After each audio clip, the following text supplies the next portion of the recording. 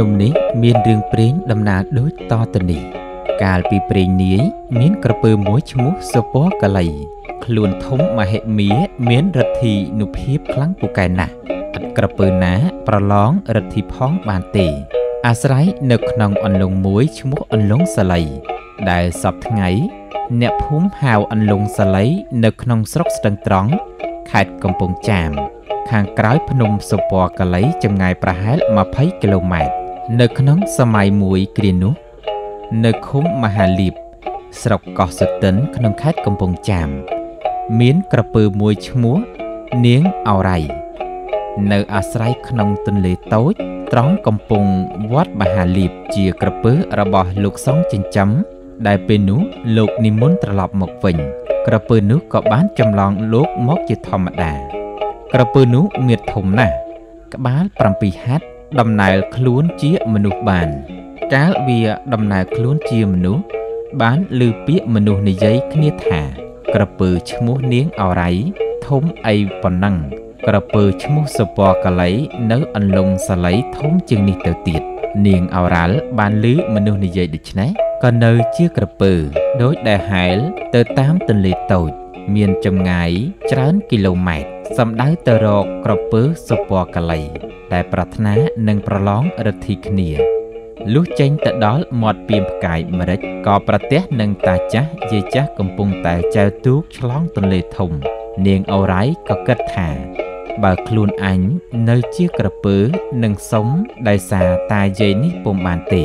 ព្រោះគាត់ខ្លាចដូច្នេះគូអញនិមិត្តខ្លួនជាលោកនេន ទើបសុំដោយសារគាត់បានគិតហើយក៏និមិត្តខ្លួនជាលោកនេនសុំដោយសារជាមួយលោកតាលោកយាយបានដូចបំណងនាងអរ៉ៃលោកនេនមិនបានឲ្យតាចៅកនសែងទូកទេបង្គាប់តាថា សូមតាទៅអង្គុយកាន់ជើងចៅ ខាងក្បាលទូកទល់ខ្លួនឲ្យនឹងចោះថាដូច្នេះហើយ លោកនេនក្រពើក៏ខំចៅទូកលឿនបន្តិចម្ដងបន្តិចម្ដង យូរទៅរឹតតែលឿនឡើងលឿនឡើង ដោយអំណាចនាងអរ៉ៃនិមិត្តយកកន្ទុយជួយកាយទាំងផ្សំផងទំនងចំនួនកន្លះថ្ងៃទើបទៅដល់ទីកន្លែងក្រពើសុពណ៌កលៃនាងអរ៉ាល់លោកនេនសួរតាយាយថា តាឡើងត្រើយខាងណា តាយាយឆ្លើយប្រាប់ទៅវិញថា តាឡើងត្រើយខាងស្ដាំនេះបានហើយលុះចូលទូកទៅដល់កំពង់ នាងអរ៉ៃលោកនេនជួយអូសទូកតាយាយផុតពីទឹក តាថាដាក់ទូកត្រង់ហ្នឹងបានហើយ នាងអរ៉ៃលោកនេនថាពុំបានទេតា ថាហើយក៏អូសទូកនោះទៅដាក់ដល់ចិញ្ចើមច្រាំងចងក្រៀបដោយច្រវាក់ភ្ជាប់និងបង្គោលព្រោះនាងអរ៉ៃគិតថា នៅពេលប្រឡងរទ្ធីគ្នានោះរលកទឹកខ្លាំងណាស់ពោដល់ចិញ្ចើមច្រាំង បើប្រហែសមិនចង់ឲ្យជាប់មកជានឹងអណ្ដែតទូកនោះបាត់គិតហើយក៏សំដែងរត់ប្រែខ្លួនជាក្រពើលោតចុះទៅក្នុងទឹកហែលសំដៅទៅរកក្រពើសុពណ៌កលៃបានជួបក្រពើសុពណ៌កលៃហើយក៏ប្រខំគ្នាដោយរិទ្ធិយ៉ាងអស្ចារ្យ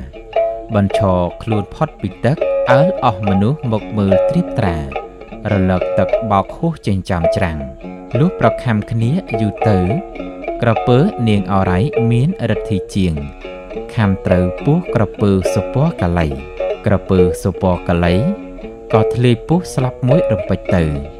កើតជាភ្នំមួយហៅថា ភ្នំសុពណ៌កលៃតាមឈ្មោះក្រពើនោះដរាបមកដល់សពថ្ងៃនេះ ភ្នំនេះពូកែស័ក្តិសិទ្ធិណាស់បើអ្នកណាទៅរៀនមុនវិជ្ជានៅទីនោះ កំពុងអង្គុយស្វាតជាតែងមានពួកបិសាចមកលបងធ្វើជាដុំមាសប៉ុនដូងទុំ ឬក៏ស្រីក្រមុំមកពិតអែបស្មាសងខាង បើអ្នករៀនវិជ្ជានោះផ្លាត់ចំណាប់ចង់បានរបស់នោះមកជាពួកនេះវាយបំបាក់កពុំខានទេ កាលមានជ័យជំនះហើយ ក្រពើនាងអរ៉ាល់នោះក៏ត្រឡប់មកលំនៅឋានវិញលុះនៅយូរបន្តិចទៅ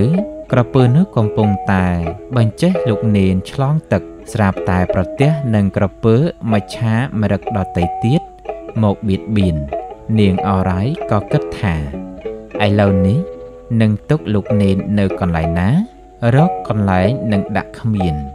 នាងអរ៉ៃក៏លេបលោកនេនចូលទៅក្នុងពោះខ្លួន ហើយប្រយុទ្ធនឹងក្រពើជាមច្ឆាមរឹកក្រពើមច្ឆាមរឹកចាញ់ក្រពើនាងអរៃ ហើយកិច្ចខ្លួនរត់បាត់ទៅលុះរួចកិច្ចប្រយុទ្ធហើយនាងអរៃក៏ខ្ជាក់លោកនេនចេញពីពោះតាមមាត់ខ្លួនមកវិញឃើញលោកនេននោះសុគតទៅហើយកើតសេចក្តីសោកសៅក្រៃពេកនៅឱកាសដែលពួកមហាជនកំពុងធ្វើបន់ជាបណកិច្ចរំលាយសពលោកនេននោះក្រពើនាងអរ៉ៃក៏វាឡើងទៅដេកលើភ្នក់ភ្លើង ដែលកំពុងតែឆេះពេញអំណាច ដែលជូធាតក៏ឆេះក្រពើនាងអរ៉ៃនោះ បាត់បង់ជីវិតទៅជាមួយគ្នាដែរ